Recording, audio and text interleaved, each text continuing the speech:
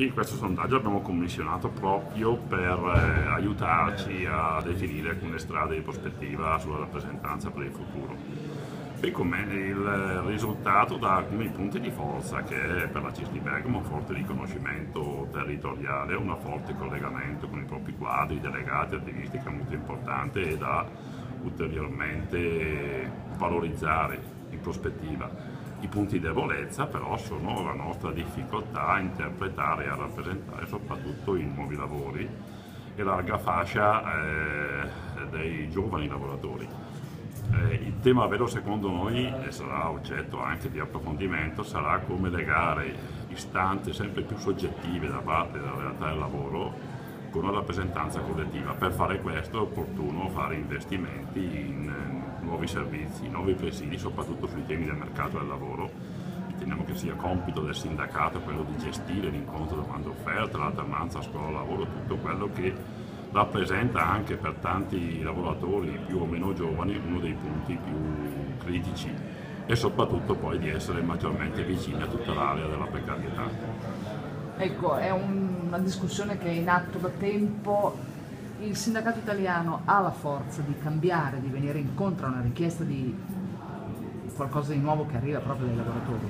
Il sindacato italiano non può solo lamentarsi del governo che non lo convoca, ma deve eh, rivedere il proprio assetto organizzativo in funzione di avere molto più eh, forza dal basso garantendo maggiore partecipazione dei lavoratori e da questo eh, far crescere anche un livello poi di riconoscimento sociale che è molto più alto, che deve essere molto più alto di quello attuale.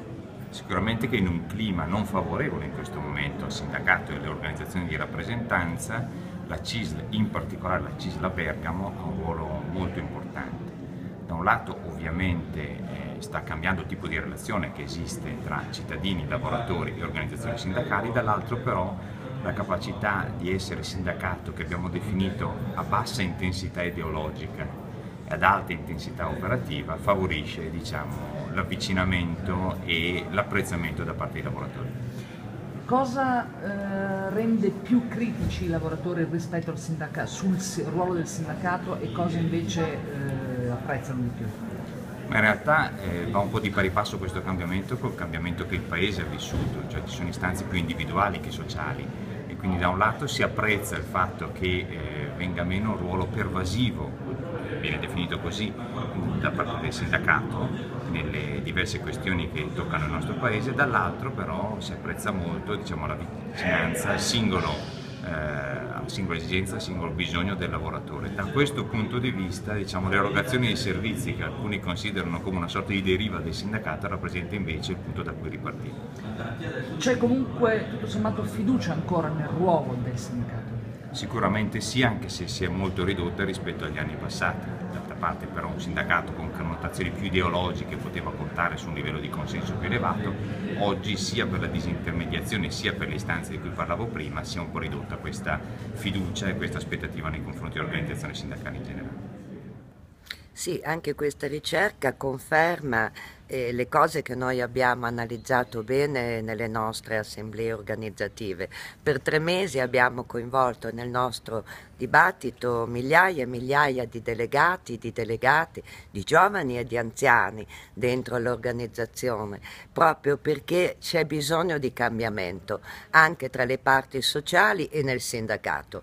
La CISL ha individuato alcuni filoni di azione che metteremo ovviamente in pratica, che è il, la centralità del territorio e del luogo di lavoro come soggettualità sindacale. Lì dove c'è la contrattazione e lì dove si incontrano gli iscritti e le iscritte, noi dobbiamo rafforzare il nostro sindacato, dobbiamo rafforzare la CIS.